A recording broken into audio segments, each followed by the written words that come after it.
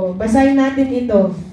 If we confess our sins, He is faithful and just and will for- forgive us our sins and purify us from all Praise unrighteousness. the Lord. O, sabi sa Tagalog, o, basahin natin sa Tagalog, kung ipinangangayag natin ang ating mga kasalanan, ay tapat at banal.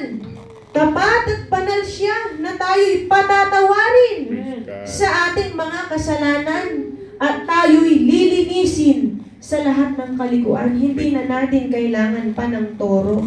Tunay. Hindi na natin kailangan pa ng kambing o ng tupa man o ng dugo ng nino pa man. Bakit? Sabi dito eh, kung ipapahayag ang ating kasalanan, tapat at banal na patatawarin tayo sa ating mga kasalanan. Amen? At lilinisin. Gusto ba tayo, gusto ba natin linisin tayo ng Panginoon? Amen. O sa ating mga kasalanan? Amen? Purihin ang Panginoon. Bakit? Kapag malinis tayo sa harapan ng Diyos. O, kapag kasi malinis ang bagay, dun ginagamit. Sino dito ang mahilig maglinis ng bahay? Gamitin ng may-ari. Parang walang sumasagot. Assist. Sino ang mahilig maglinis ng bahay sa atin dito? Amen. O, kapag marumi ang gamit sa bahay, anong ginagawa? O, praise the Lord. O, totoo yan, ang kapatid na July, malinis sa bahay yan eh. O, tama ba Brad? Di pa yata tayo nakapasyal doon kina brother. Praise the Lord. O, yan. Pero totoo, kapag ang bagay malinis, handang Ang gamitin. Amen? Kaya bakit tayo nais ng Panginoon na laging maging malinis tayo upang tayo maging handa sa mga espiritual na bagay. Amen? Kaya gusto ba natin gamitin tayo ng Panginoon? Amen. O, basahin natin, hanapin natin sa sa Timothy. Ayan, hanapin natin sa 2 Timothy ito. Purihin ang Panginoon. Sa chapter 2. Nasa 2 Timothy ito eh. Kung sino ang unang makahanap, mga kapatid, na tayo dapat maging malinis upang tayo maging handa sa mga paggamit sa atin ng ating Panginoon. Sige, basahin natin sa 2 Timothy 2 chapter Timothy 2, 2.21. verse 20 to 21 to 22. Oh. Sige po. 20 muna tayo, purihin ang Panginoon. Datapwat sa isang malaking bahay ay hindi lamang may mga sisidlang ginto at pila, kundi mayroon din namang mga kahoy at lupa at ang iba'y sa ikapupuri at ang iba'y sa ikasisirang puri.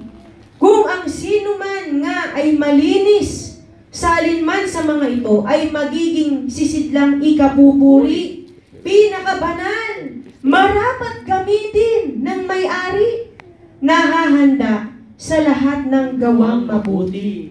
Purihin ang Panginoon kaya mga kapatid, oh. Sabi dito, nara balikan natin sa 21. Narara oh, nahahanda pala sa lahat ng gawang mabuti kapag ang sisidlan malinis. Ay pag nananalangin tayo, humihingi tayo ng paglilinis. Amen? Amen. Sa ating mga kasalanan. At kung tayo malinis naman ng ating Panginoon, gagamitin tayo ng Panginoon oh, para sa mga banal na gawain. Amen. Purihin ang Panginoon, glory to God, kaya mga kapatid.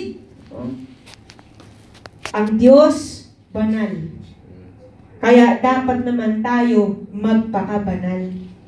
Amen? Amen. At tayo bilang mga pinabanal, tinawag, pinili, hinirang ng dakilang Diyos, inaasahan tayo gumawa ng mga banal na paglilingkod sa Diyos. Amen? Purihin ang Panginoon, glory to God. Kaya, balik na tayo sa ating promise. What is the promise of the Lord? Purihin ang Panginoon. Sabi dito sa Jeremiah chapter 29, verses 12 to 13. Ayan. Sabi sa NLT. Oh, basahin natin sa NLT. In those days, when you pray, I will listen. The Lord. Purihin ang Panginoon. Puri ng Panginoon. If you look for me wholeheartedly, you will find Praise the me. Lord. Jeremiah. Maganda itong basahin sa ASMD eh, sa Tagalog. Kung magkagayon, tatawag at manana- mananalangin kayo sa akin at diringgin ko kayo. Kung lalapit kayo sa akin ng buong puso, tutulungan ko kayo. Praise the Lord. Gusto ba natin tulungan tayo ng Panginoon? Amen. Buong puso pala tayong lumapit sa dakong kabanal-banalan ng Diyos. Amen? At ano pa ang sabi ng salita ng Diyos? Kung ikaw ay tatawag, mananalangin, titinggin ko kayo. Praise God. Kaya pag, pag alam natin na, oh, praise the Lord, magpapatuto ako. Prayer request granted.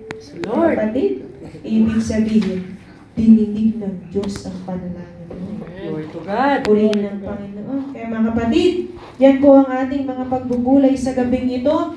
Napakapalad natin bilang mga alagad ni Kristo. Bilang mga anak ng Diyos. Sa dinami-dami ng tao sa sanlibutan, hinirang tayo ng Diyos, pinili, Lord. tinawag Sa Lord. sa mga gawang pagpapakabanal. Amen. At alam natin, hindi lahat ng tumatawag dinidinig. Kaya ito ang ating kapalaran. No? Nalalaman natin na kung tayo lalapit sa ating banal na Diyos, malaya tayo na makaugnay kung tayo'y masumpungang nagsisisi sa ating mga kasalanan at lumalapit ng may buong puso at pananampalataya. Purihin ng Panginoon, tayo po manalangin. Lord to God,